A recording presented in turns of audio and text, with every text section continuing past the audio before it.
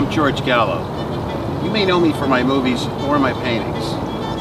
My movie Local Color tells the story of how I became a painter. And I'll be at the Seaside Gallery, Pismo Beach with my latest oil paintings and at the San Luis Obispo Film Festival showing my film Local Color. I look forward to seeing all of you there.